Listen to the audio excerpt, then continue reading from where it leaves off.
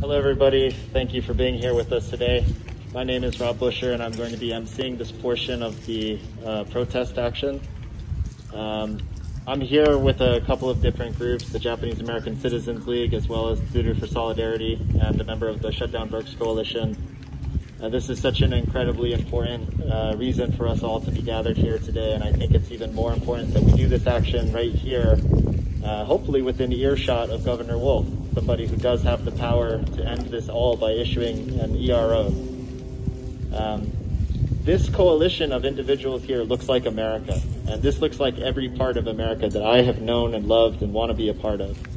And the hate and the coldness uh, that allows children and families to continue to be detained in Pennsylvania, uh, who have broken no laws, who are here uh, seeking asylum, and particularly in this moment of pandemic, when their lives, very lives, are being put at risk.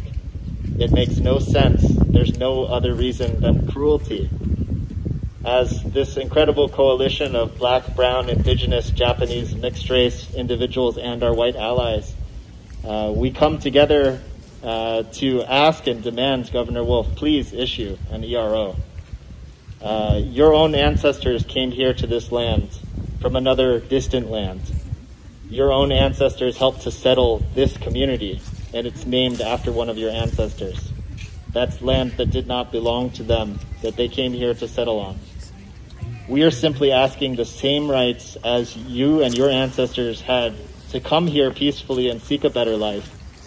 And uh, for that reason, I think it's really important that we can all be here joining our voices together and demanding to shut down the Berks Detention Center.